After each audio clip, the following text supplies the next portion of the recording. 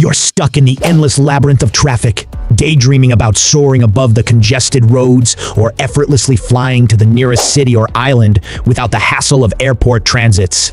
Flying cars, a staple of our collective imagination, promise to make this dream a reality. As we delve into the captivating world of flying cars, prepare to be enthralled by some astonishing facts that will reignite your excitement for this futuristic mode of transportation. Flying cars have long been a dream of humanity, and the prospect of soaring above traffic jams and reaching our destinations with ease has captured our imaginations for decades. In this exploration of flying cars, we'll uncover some fascinating facts that will ignite your excitement about this futuristic mode of transportation. Number 1. The pioneer of flying cars Glenn Curtiss, 1917.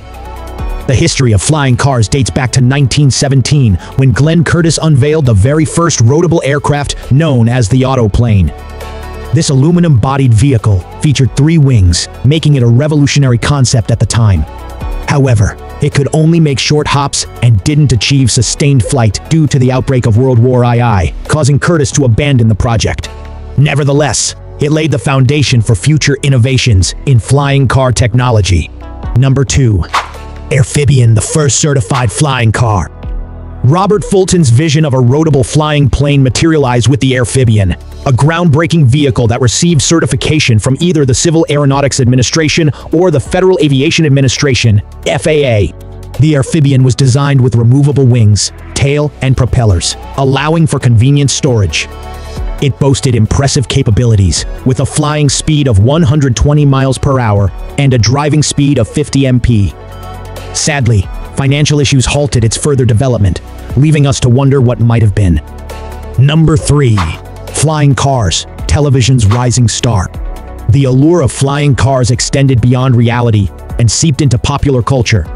In the 1962 Bob Cummings weekly television show, The New Bob Cummings Show, the protagonist, Bob Cummings himself, embodied the dream of becoming a pilot with his very own flying car.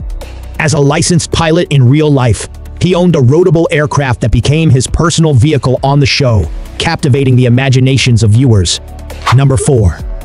Flying Cars in Cartoons, a glimpse into the future. American pop culture has always been ahead of its time, and this is exemplified by the beloved cartoon, The Jetsons. Set in a distant future, the show featured flying cars as a staple mode of transportation as early as 1962. The George Jetson family's futuristic flying vehicle ignited the imaginations of countless viewers and played a pivotal role in shaping our fascination with flying cars.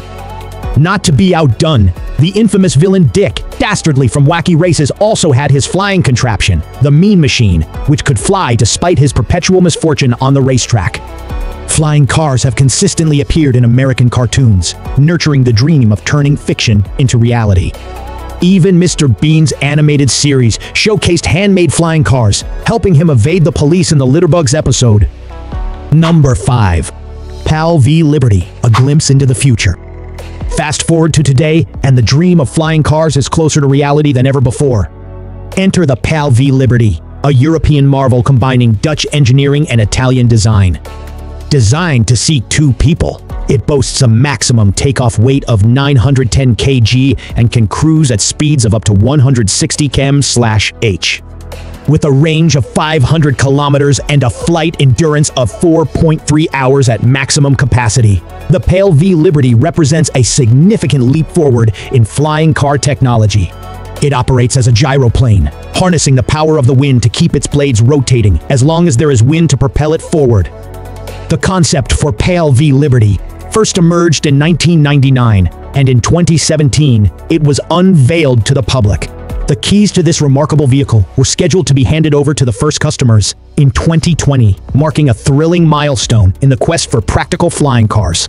Conclusion The allure of flying cars has persisted for over a century, captivating the imaginations of inventors, dreamers, and even the entertainment industry.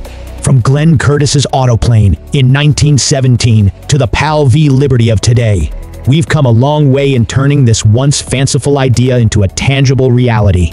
As technology advances and pioneers push the boundaries, the dream of flying cars is becoming increasingly attainable.